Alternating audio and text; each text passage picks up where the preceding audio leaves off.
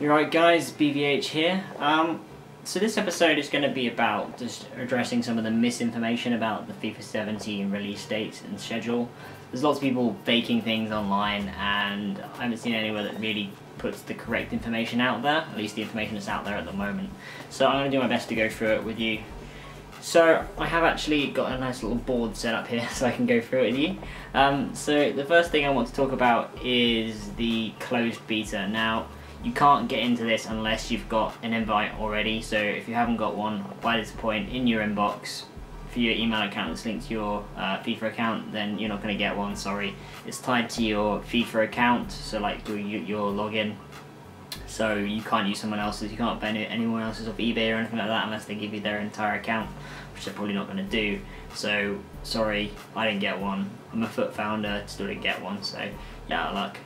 Um, moving on, the demo. So there was a fake thing going around on the internet saying that the demo is going to be out on the 6th of September. This isn't official at all. Uh, this has actually now been revealed to be fake. You can tell it's fake by the fact that the Man City badge is the uh, is their old Man City badge. Someone kind of forgot that, I guess.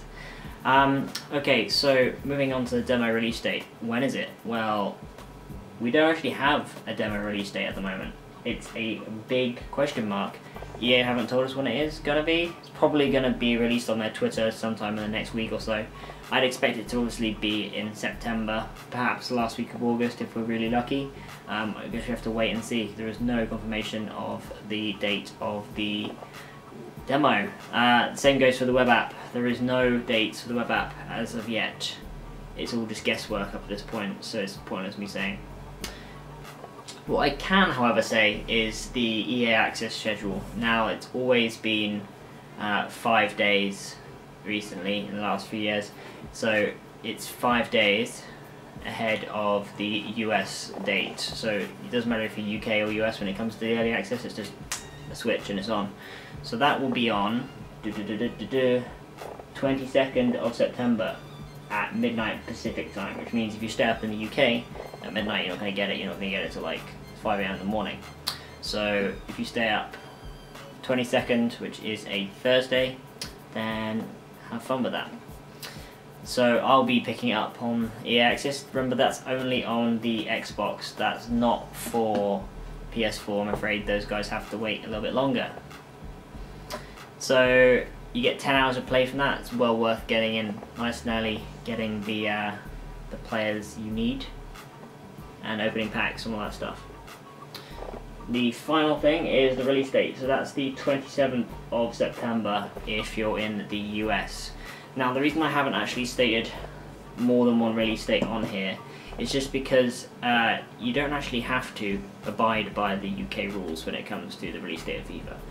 There are ways, very publicly shown ways, that you can just change your region in about 5 seconds to the US account, buy Xbox dollar value uh, gift cards and then just buy FIFA, download it straight to your device, even if in the UK, and you can be able to play it fine two days early. So that's what you guys should do. So 27th at September at midnight. You can pre-download it, so probably from like the 20th, give or take, you'd be able to download it in fact, you will already have it if you have the EA access, since it will already be on your account. It's just a matter of downloading a little key to be able to let you play for more than 10 hours. So that is downloads at uh, midnight on the 27th Pacific time. So again, not GMT. Hope that wraps up a few things for you guys. Um, there have been a lot of misinformation, as I said, and I don't think there's any these places that confirm it properly. If you Google FIFA 17 release date schedules, you'll see a load of people with a load of old data and stuff that they've picked up from FIFA 15 or something that's been written on a website six months ago. It's just all a load of misinformation. So this is what you need to be looking at.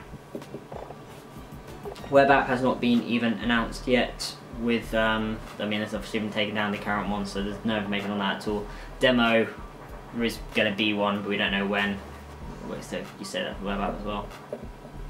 Alright guys, that's BVH, Hope you've enjoyed this. If you find this information useful, uh, smash us a like. I'm really trying to get started on YouTube, so that would be really helpful. Until next time, it's BVH, signing off.